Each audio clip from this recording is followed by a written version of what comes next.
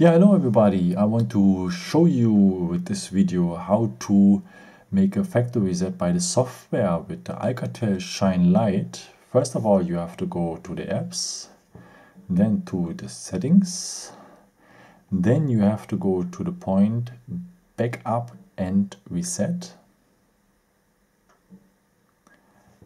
You are able also to save your data again, maybe with the cloud of Google or whatever.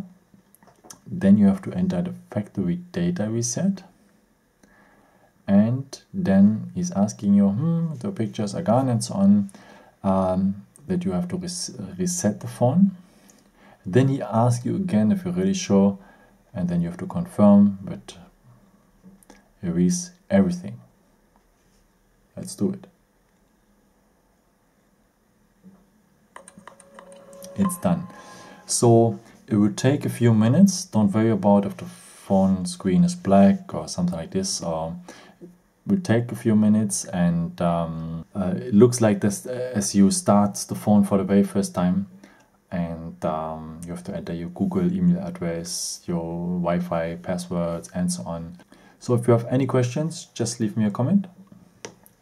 Or um, I'm always happy also about the thumbs up. It was really helpful for my channel. Thank you so much if you're doing this. Yeah, maybe until next time. Ciao.